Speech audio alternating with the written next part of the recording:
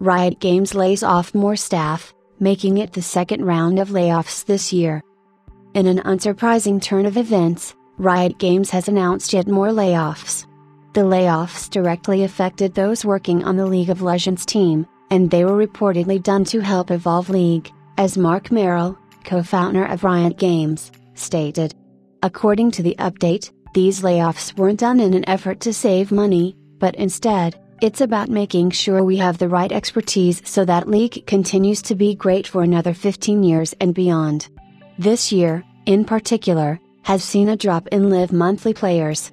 According to ActivePlayer.io, League of Legends is still performing incredibly well, with the game having over 130,394,000 average monthly players.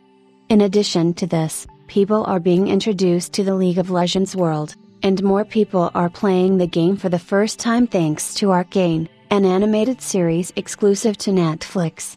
The first season did remarkably well, and the second season is close to release, with hype for the show building up rapidly. Merrill also s. states that despite there being this second round of layoffs, the league team will eventually be even larger than it is today as we develop the next phase of league.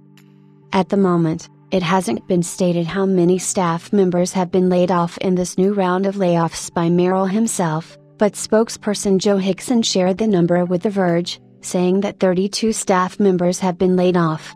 Still, it's said that the Rioters laid off will be supported with a severance package that includes a minimum of six months' pay, an annual bonus, job placement assistance, health coverage, and more, according to Merrill's statement.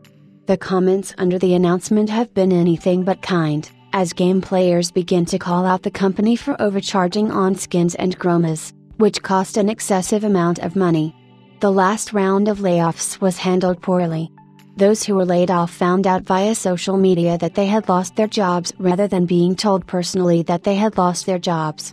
Merrill finishes his statement regarding the riot layoffs with a conclusion while the league team will ultimately be larger after these changes, what matters more DH?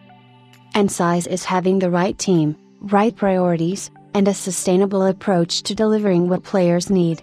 If we're solving the wrong problems, more resources won't fix it.